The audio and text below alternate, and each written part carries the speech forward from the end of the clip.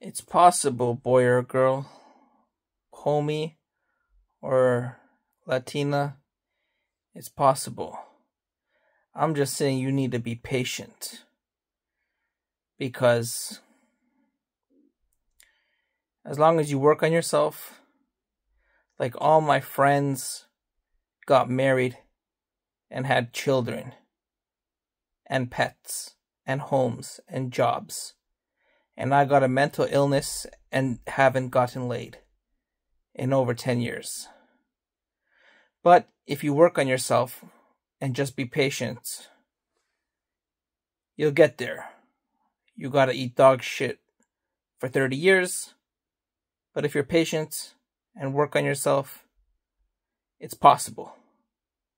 It's possible.